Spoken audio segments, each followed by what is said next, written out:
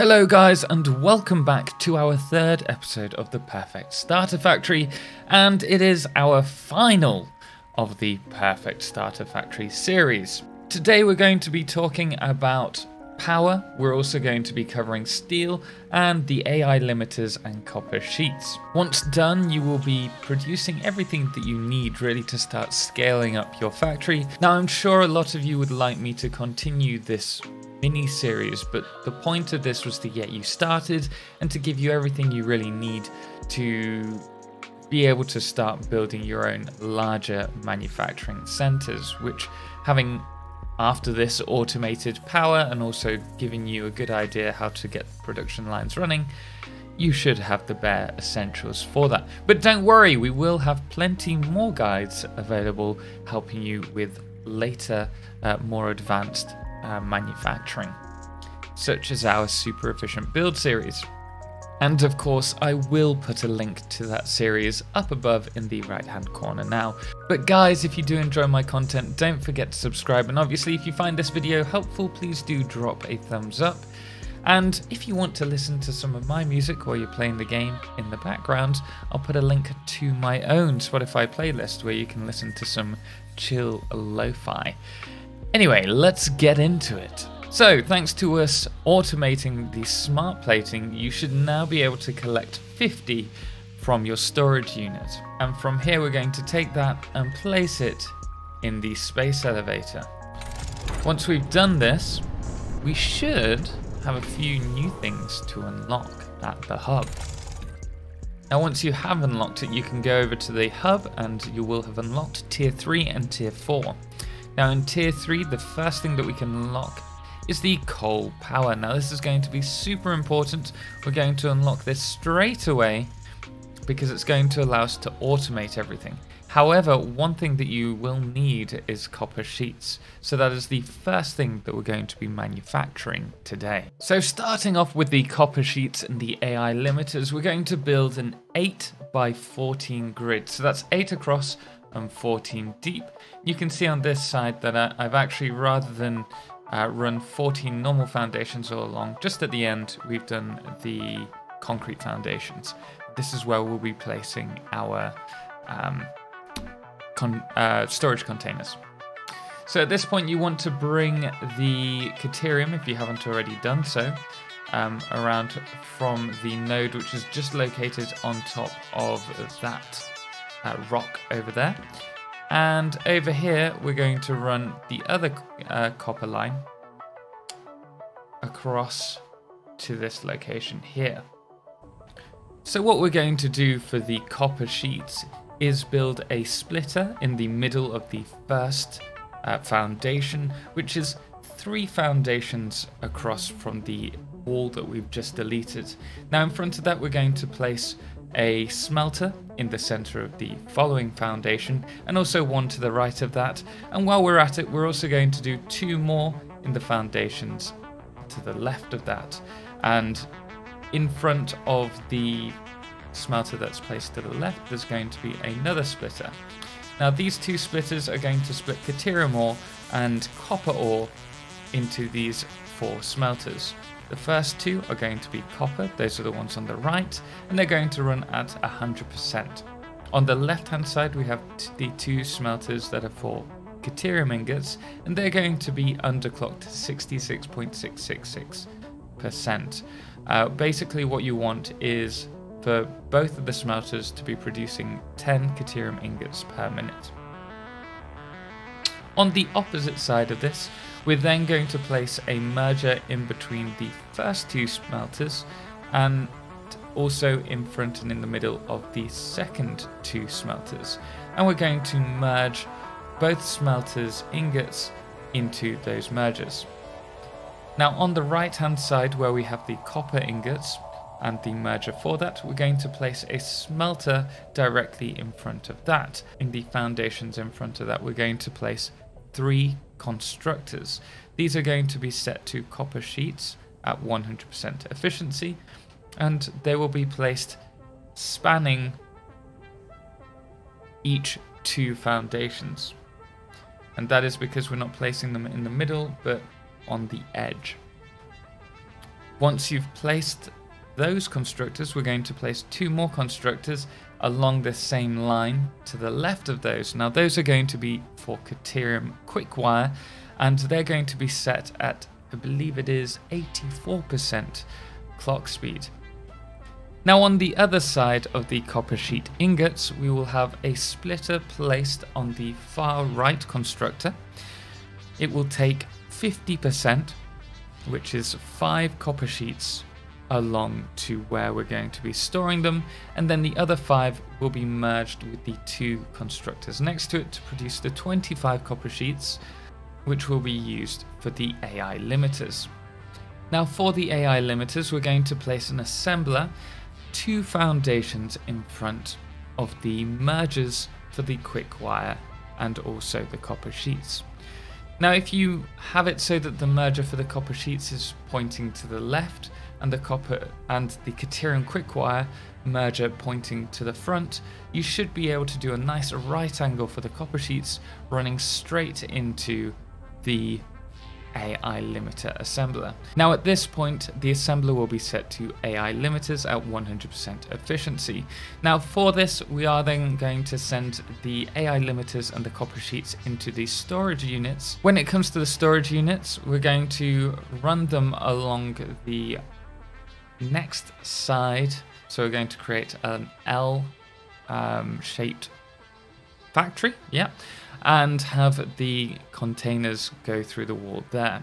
On the opposite side, where we have the resources entering the storage units, we're going to do the same as we have in the previous two videos, where we're going to run the resource line into a smart splitter, and then one of the outputs will be set to the resource heading into the storage unit, and then we will have an overflow heading above and merging with the AI limiters and the copper sheets to go to the awesome sink. It doesn't really matter where you place these awesome sinks, and you could increase the speed of the line now that we've unlocked Mark II belts, should you wish, but for the ease of this, I'm just going to build two uh, awesome sinks, and they're going to be to the left of this particular manufacturing line. Once ready, we're going to unlock coal power. So that's 150 reinforced iron plates, 50 rotors, and 300 cable. Having unlocked coal, we should now be able to find it on the scanner, and you need to locate your nearest um, coal node. Unfortunately, in the desert, we only have two locations that are near-ish by, and they're still a bit of a, a runaway. So the first coal nodes are located above this cliff, and these are all pure nodes. Alternatively, the other coal nodes are located just over in the estuary over here. Now there are a total of four coal nodes here, however one thing to bear in mind is that they're all normal nodes. So knowing where these coal nodes are is great, but the other thing that we need to think about is what we're going to be using them for. If it's specifically for power generation, we're going to need coal that has water nearby, or we're going to have to uh, move the coal or the water to one another. Thankfully in this location you'll notice that we have got a lot of water nearby, so we could put a power station here. Or if we're doing steel generation, we're going to require something like the iron, which you can see here. So maybe this location is better off if we want to do steel production. For example, for myself in this build, I'm actually going to take the coal all the way back to our factory and we're going to build a power plant behind the factory we currently have. Because as you can see, we've got plenty of water nearby. To do this, we're going to build a 9x5 grid behind the factory where the hub is. So the opposite side to where the hub is, I should say. And from there, we're going to bring the water pipes up from the left-hand side along a foundation uh, line. And we're now going to start by placing down the coal generators. Now for this, we are going to need to place eight coal generators. These are going to be placed facing this direction and we're going to make it so that their back is just along the back foundation and we can bring that in to here. Now we are going to clip into these to make them more compact And we are going to set up eight generators. Now, if you've watched my coal generator guide, you'll know the system that we're doing, which is relatively easy and allows us to have 600 power, which isn't bad for a small factory. Uh, from this point, we are now going to need to place a line for our coal. Now I'm going to run it from the right. So we're going to grab our splitter and we're going to place it over this column. Now we are running a manifold that's going to just make it simple to do and it's going to take a little bit of time to warm up. But once it is at 100% efficiency, it will uh, run without any problems. Now each of these consume 15 coal per minute, so we are going to need a Mark II line full of coal.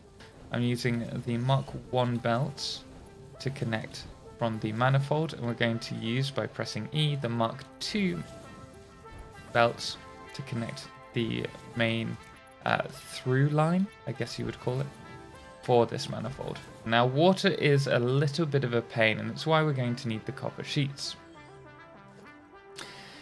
If we have water, we have to use pumps in order to get water above a certain head height. Now there are bugs with water which I will be covering in a future video, but for now we're going to have to split water from three pipes into these eight coal generators. To do this we're going to start by placing a manifold line just above and we're going to run this every couple of foundations.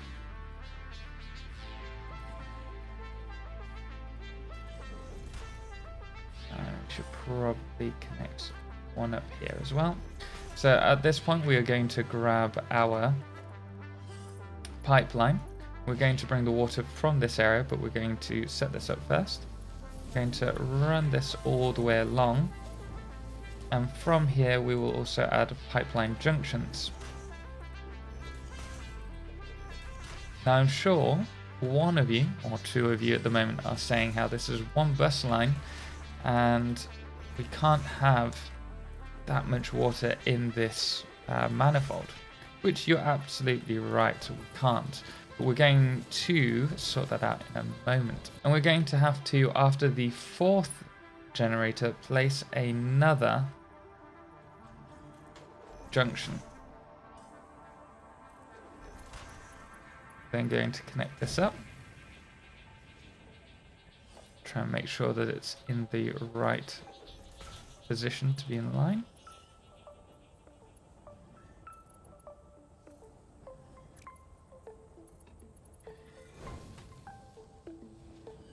like so. And we're going to do the same on this side as well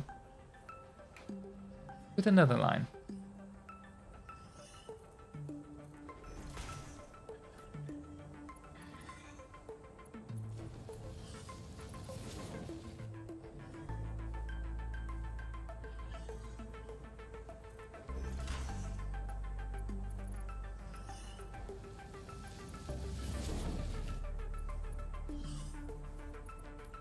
Can do, should we wish, is connect them like this. A little bit skew but it works. So what I'm doing now is just making sure that they're all in the center of this foundation. It's just going to make it easier to organize. And from here, we're going to connect it over there with some water extractors. At this point, we're now going to add the water extractors. You can see we've got three pipelines here. They probably will need, in fact, they're going to need some pumps as well. So we will place them at the same time.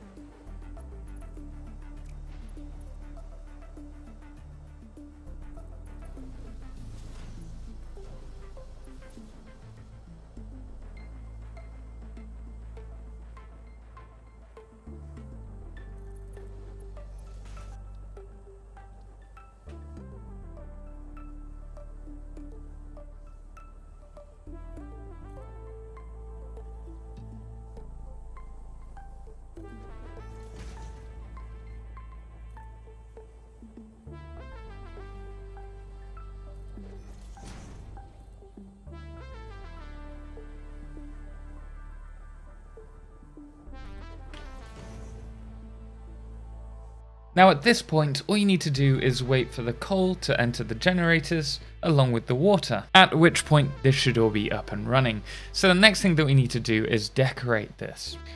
Now for this I am going to try and keep it relatively simple. Uh, I want to keep it segmented or segregated from the actual factory that we were using before, so we're going to use some concrete walls for this.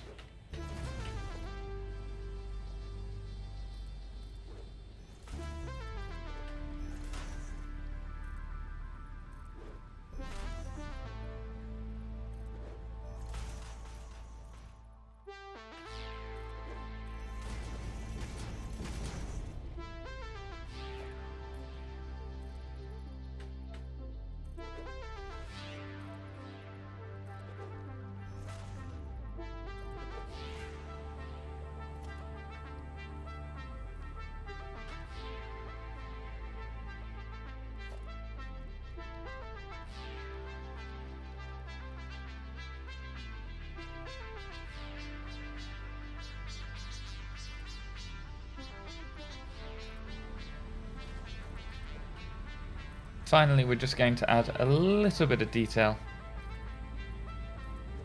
on the back side.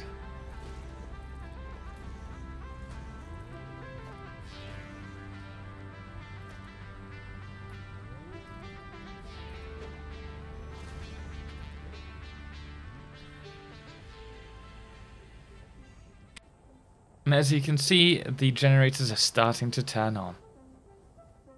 Perfect. So that just leaves us with steel production.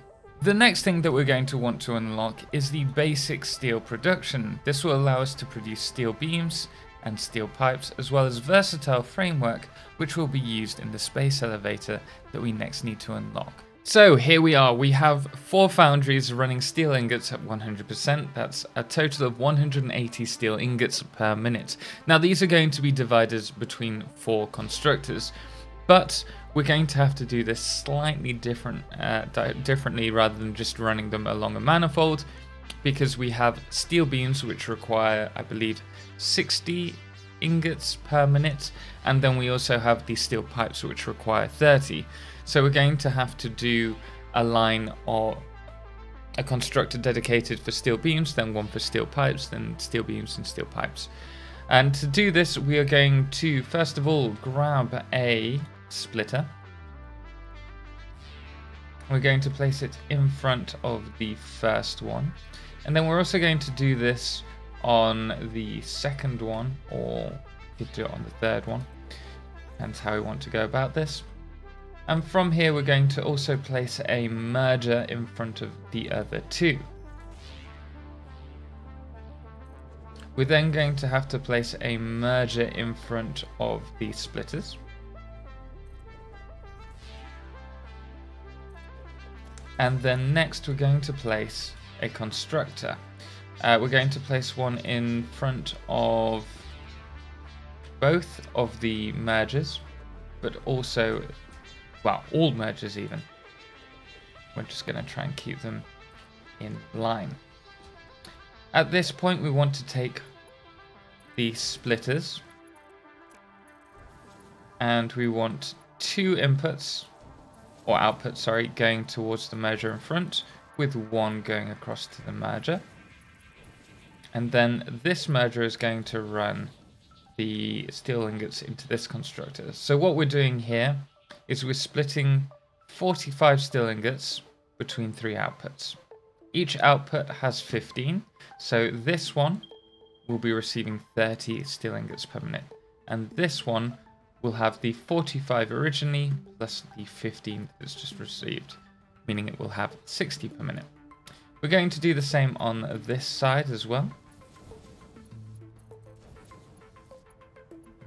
Like so. And now we have our steel pipes, which require 30 per minute and steel beams, pipes, and beams. Now, in order for us to um, move this towards our storage containers, we have to think about how we are going to merge the lines. Let's place that there. As it's two up and two down, I think the best thing for us would be to grab a Mark 1 conveyor elevator. And for us, we are going to run these, a merger, all the way along. Yeah. Let's check how many we're producing, 15 per minute, so we can have a Mark 1.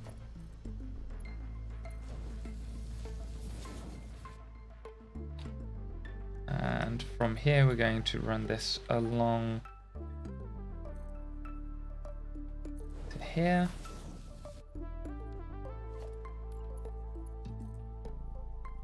We can bring it down. At this point, we're going to do the same as we have done before with the smart splitter system. Let's place that there.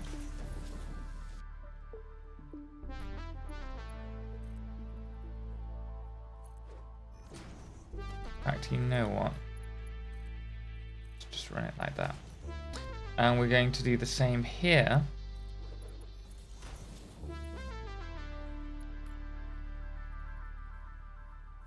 The pipes underneath.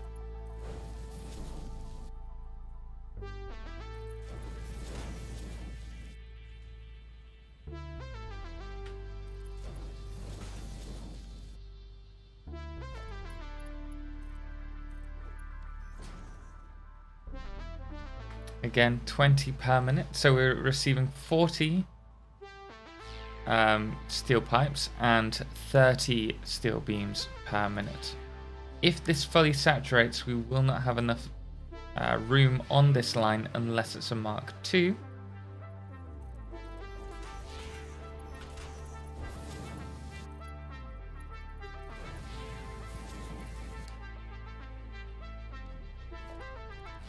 So any line after this heading towards the sink needs to be a Mark II. I do believe that we're producing only 10 of these per minute. So the next thing that I'm going to do is just change this slightly. We're going to have it so that our outputs, these all go along the top of here. Now the reason that I'm doing this is just so that we can cut down to one awesome sink.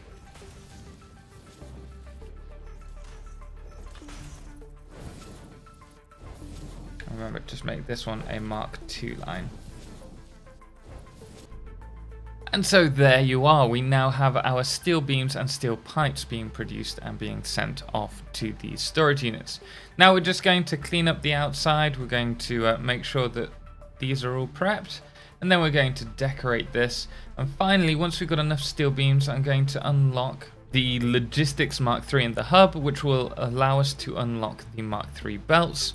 And from here, we can use steel beams to use the belts that run 270 resources per minute, allowing us to clean the steel line that we've just done.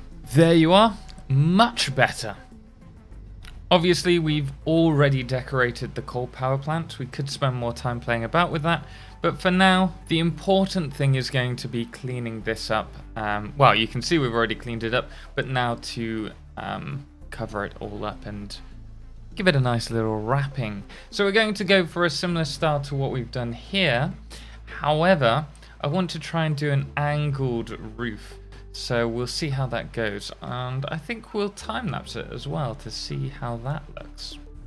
I have to say I'm quite happy with how this turned out in the end, though we still haven't unlocked all the things from the customizer that I would have liked to have. I was originally going to turn this into concrete to mimic the outside, um, but I actually quite like the darker feel that we have to it in here. We also have plenty of light, which is nice for within the factory, and I feel it sticks to our original theme that we were kind of going for with this build. There we are, much better. So there we are, guys. If you did like this video, make sure to drop a thumbs up. And obviously, if you do want to see more, don't forget to subscribe.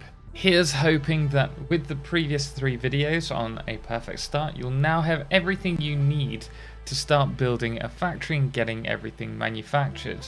And don't forget you can download this save should you wish to so that you can play on it by checking out satisfactorytips.com where I'll put the save. Anyway guys, until next time thank you so much for watching and of course thanks does go to all of our amazing supporters, most notably our Solar Eclipse patrons, the Calamity, Cerebral Tag, and James Owen, as well as our Lunar Eclipse patrons, Dixie Chris, Lord of July, and Ben, as well as our Blood Moon of the day, which today is Papa Snoozy. Anyway, guys, until next time, as always, ciao for now.